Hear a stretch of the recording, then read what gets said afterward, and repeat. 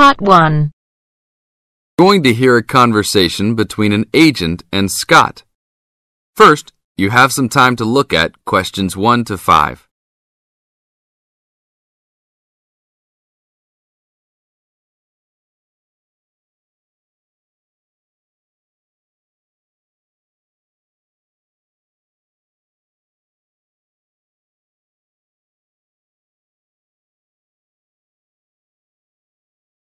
Now listen to the tape and answer the questions. Howdy, what can I do for you? I'm here to ship some things back to China. Okay, we can do that. Shipping things back, eh? Have you lived there before? Yeah, I lived there for three years and came back two years ago. Now I'm going back to start my own business. Really? Did you ship things with us last time? No, I used a Chinese shipping agency. Well, I'll just let you know that rates have changed recently. So I don't know if they'll be comparable to what you paid before. It doesn't matter to me. My company's paying for it. Aha, then it's nothing off your skin, right? Okay, I'll need your name and where you need to go to pick up the items to be shipped.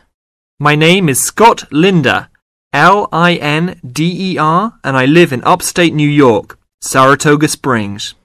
Oh, sure, I know that place. I go to the races there. Great town. What's the zip there again? Double seven oh four two five, and the street address is four one two West Lake Road. Double seven oh four two five Westlake. Got it. And how big of a container are you going to be looking for? Well, I didn't have a container last time, and I don't think I'll need one this time. I think that I'll have about six cubic meters. We can get a subsection of a container then. How big is that? It's two metres wide and three metres long. Two meters high, right? Yes, sir.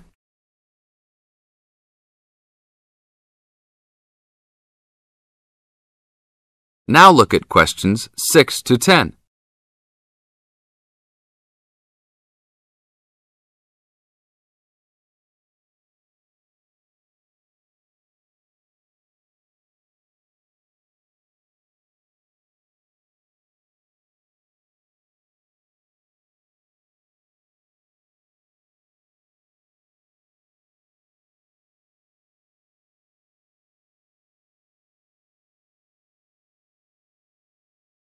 As the talk continues, answer questions 6 to 10.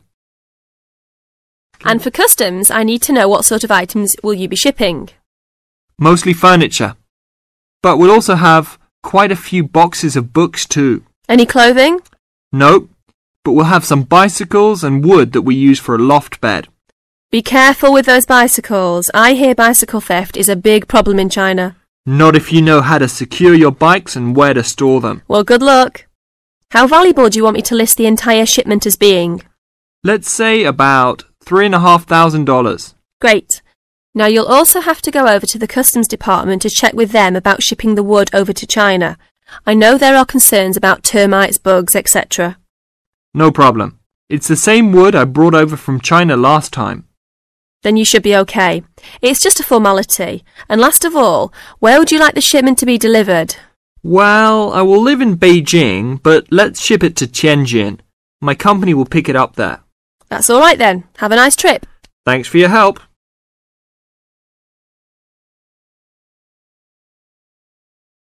That is the end of Part 1. You now have half a minute to check your answers.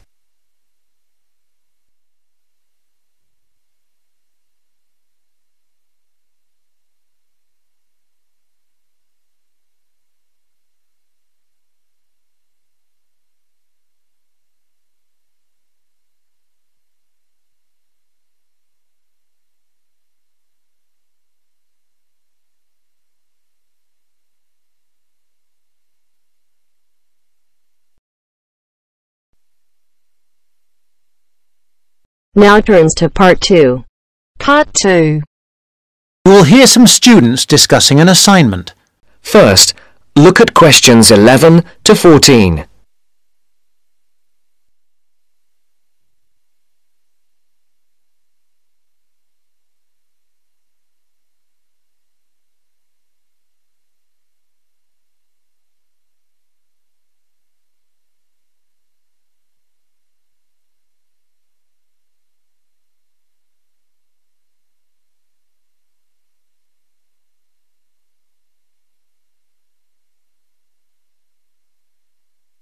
Listen carefully.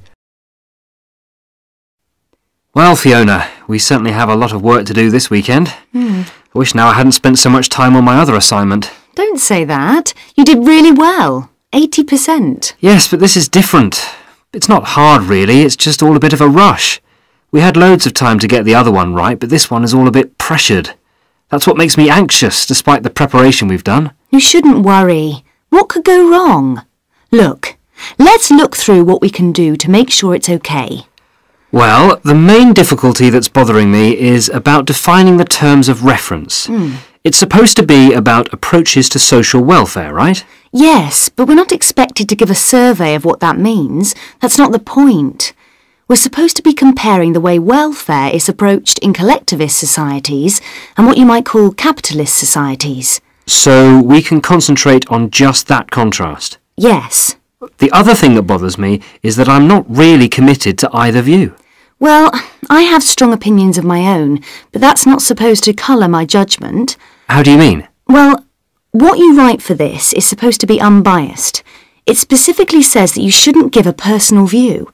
But Professor Green has a personal view. Yes, but that doesn't mean that we have to agree with him. And I don't think we'll do any better if we do. And how long does it have to be? The maximum is 4,000 words. What? But that's the maximum. We'll probably end up with about three, but at least 2,000 is the minimum. Shouldn't be a problem. Hmm, okay. Before the broadcast continues, look at questions 15 to 20.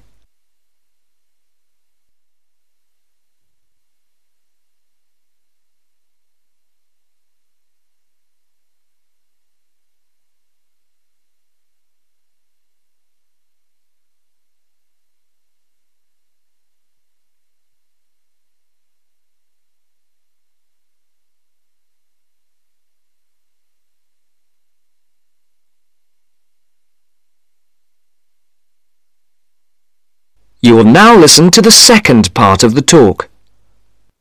Now, where can we get some information on all this? Well, we could ask Olive over there. Olive, you did this assignment last year, didn't you? Not this one exactly, but something similar. The most important thing is to get Professor Green's lectures on the welfare state. Is he good? Oh, very good. Didn't you know he was lecturing? No, no idea. Well, he is. He's at the Beckett building on Tuesdays. I think he's starting this week, so you'll be able to get the series of six. He deals with the underlying philosophy as well as the economics of it all. It's at 10 a.m. I'd go myself, except that I have too much to do. And what about reading? I've got the reading list here. As usual, it has far more titles and references than we can possibly read in the time. I haven't even got a reading list. Where did you get that from, Mike? I got it at the welcome lecture. Oh, I wish I'd gone to that now. What you need above all is his own book called Welfare Economics.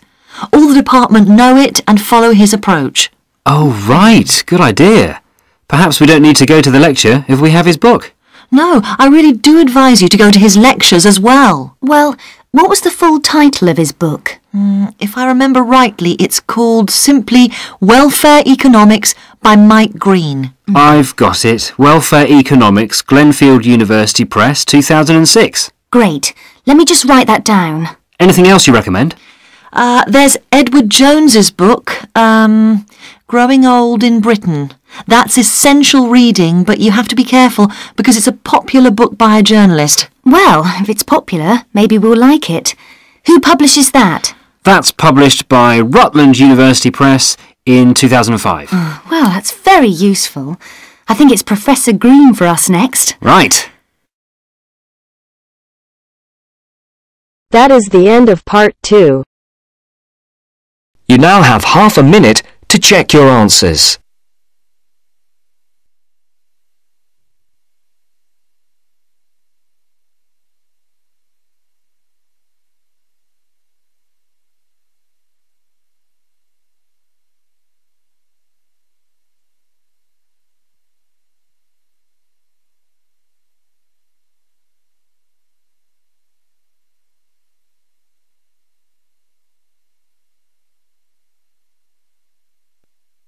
Now turns to part three. Part 3. You will hear a radio program in which the speakers discuss the importance of looking after old people in winter. First, you have some time to look at questions 21 to 24.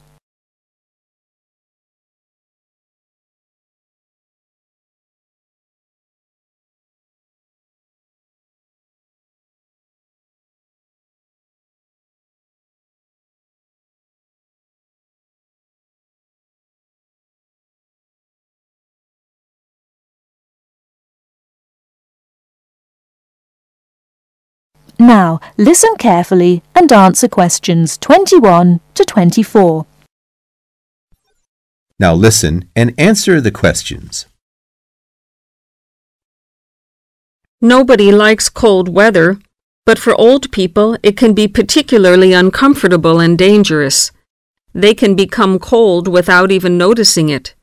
To keep warm, they may need help from friends and neighbors like you. To find out how we can help, we've invited a representative from the Social Service Department at the Town Hall to talk about the Winter Warmth Code campaign. Mr. Hastings, can I first ask you why it is so important to keep an eye on elderly people during cold weather such as we've been having lately? Yes. There are two main reasons. First, the old suffer from the cold more than the rest of us. They're not as active or strong as you and me, and it's harder for them to keep warm. This can lead to all sorts of complications. They have less resistance to infection. The quality of their lives is badly affected, and in extreme cases, they may need to be hospitalized. According to the newspapers, old people are actually dying of the cold. Is this true? I'm afraid it is. I said before there were two main reasons why we should keep an eye on old people. Well, the other major problem is that so many pensioners cannot afford to heat their homes properly. Before you hear the rest of the talk, you have some time to look at questions 25 to 30.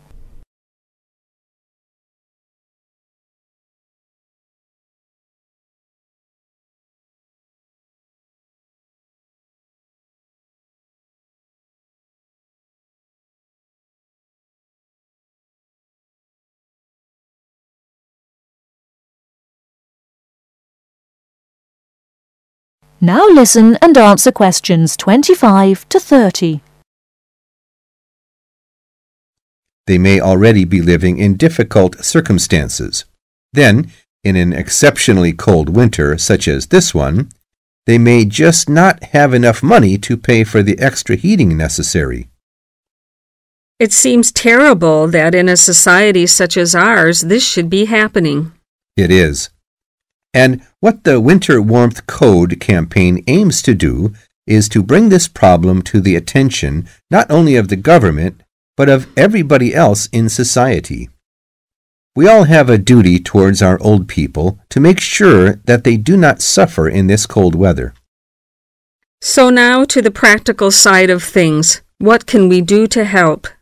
Well, we all know someone old, a relative maybe, a neighbor, someone living round the corner. We should adopt that person and make sure that we spare a few minutes every day to check that everything is okay. Make sure, even if the old person is not actually ill, that he or she is not suffering.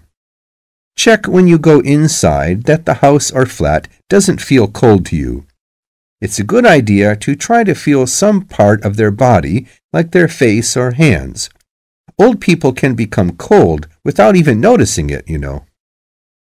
Okay. And if a person is too poor to afford to heat the house or flat? The best thing then is for the old person to live in one room only and to make sure that that one room is warm. Check that the bed is on an inside wall. Move it yourself if necessary. Check the room for drafts. A lot of cold air gets into the room through old windows or badly fitting doors. Is food important? Yes. Make sure that the old person is eating well. You could help by cooking for them or doing the shopping. Remember, A good hot meal a day makes a big difference. Also, make sure that they are well dressed. Old people need to wear more layers of clothes than we do, particularly at night. One last question, Mr. Hastings. Is there nothing the state can do to help? Oh, yes, indeed. Contact your town hall to find out about local organizations already involved in this kind of work. If there is a local Meals on Wheels service, for instance, you could get your adopted old person on the list. Then, of course, there are also many state benefits which an old person could be entitled to, and which he or she doesn't know about, and which therefore he or she is not claiming. An extra problem here is that it can often be complicated and old people don't like going to Social Security offices to fill in forms and all that. You can help by finding out for them what possibilities exist for claiming a little extra money from the government, then applying for it for them. That little extra could make all the difference. Yes, indeed. Well, Mr. Hastings, thank you for coming in and talking to us today. Thank you. That is the end of part 3. You now have half a minute to check your answers.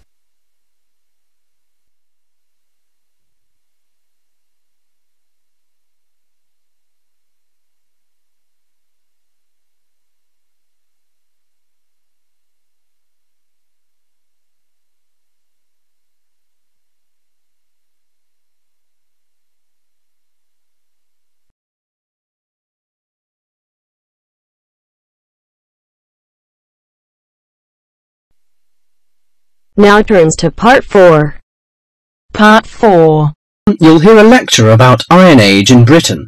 First, you have some time to look at questions 31 to 40.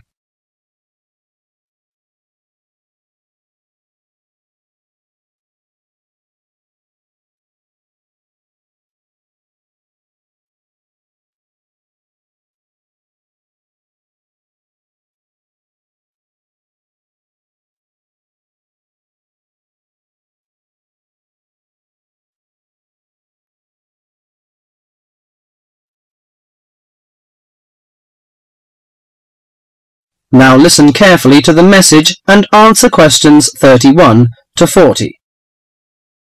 Good morning, ladies and gentlemen. Today I'm going to introduce to you a special age in Britain, the Iron Age. People at that time, you may be surprised to hear that, seem close to the men and women of today, because archaeologists discovered that they tried to vary their diet, improve their homes, and follow fashions. The period known as the Iron Age lasted in Britain for about 800 years, from 750 BC to 43 AD. There had been several dramatic changes by the end of the Iron Age, including coinage, wheel-thrown pottery, etc. People had started to live in larger and more settled communities. Furthermore, because of the differences in climate and geography, Someone living in Yorkshire or Ireland would have eaten different food, worn different clothing, and lived in different housing conditions from someone living in southern Britain. Caesar commented that Britain was a land of small farms, and this has been proven by the archaeological evidence. Since Iron Age society was primarily agricultural, it is safe to presume that the daily routine would have revolved around the maintenance of the crops and livestock. Small farmsteads were tended by and would have supported isolated communities of family or extended family size. They produced enough to live on and a little extra to exchange for commodities that the farmers were unable to provide for themselves. For those farms, harvested crops were stored in either granaries that were raised from the ground on posts or in bell-shaped pits two to three meters deep. Some 4,500 of these storage pits have been found within the hill fort interior at Danebury in Hampshire, and if they were all used to store crops, this would have essentially made the site one large fortified granary. Although the archaeological evidence shows that cattle and sheep would have been the most common farm animals, it is known that pigs were also kept. The animals would have aided the family, not only with heavy farm labour in the case of the cattle, such as the ploughing of crop fields, but also as a valuable form of wool or hide and food products. Horses and dogs are also observed in the archaeological evidence from both faunal remains and artifacts. Horses were used for pulling two or four-wheeled vehicles, carts, chariots, while dogs would have assisted in the herding of the livestock and hunting. Besides agriculture and stock raising, the architecture in Iron Age is also worth mentioning. A very well-preserved settlement has been discovered at the site of Chysauster in Cornwall. It was made up of individual houses of stone, with garden plots. In Wessex, the typical building on a settlement would have been the large round house. All of the domestic life would have occurred within this. The main frame of the round house would have been made of upright timbers, which were interwoven with coppiced wood, usually hazel, oak, ash, or pollarded willow, to make wattle walls. This was then covered with a daub made of clay, soil, straw, and animal manure that would weatherproof the house. The roof was constructed from large timbers and densely thatched. The main focus of the interior of the house was the central open hearth fire. This was the heart of the house to provide cooked food, warmth, and light. Because its importance within the domestic sphere, the fire would have been maintained 24 hours a day. Beside the fire may have stood a pair of fire dogs, such as those found at Baldock in Hertfordshire, or suspended above it a bronze cauldron held up by a tripod and attached with an adjustable chain. The ordinary basic cooking pots would have been made by hand, from the local clay and came in varying rounded shapes, occasionally with simple incised decorations. As for eating, bread would have been an important part of any meal and was made from wheat and barley. The dough would have then been baked in a simple clay-domed oven, of which evidence has been found in Iron Age houses. The barley and rye could also have been made into a kind of porridge. In addition to this, the grain was also fermented to make beer, and the surface foam that formed was scraped off and used in the bread-making process. The interior of the house was an ideal place for the drying and preservation of food, Smoke and heat from the constant fire would have smoked meat and fish, and would have dried herbs and other plants perfectly. Salt was another means of preserving meat for the cold winter months, but this was a commodity that could not be made at a typical settlement. Well, you can see that Iron Age people lived a decent life, didn't they? I'm going to introduce their culture and leisure time next time. Thank you. That is the end of part 4. You now have half a minute to check your answers.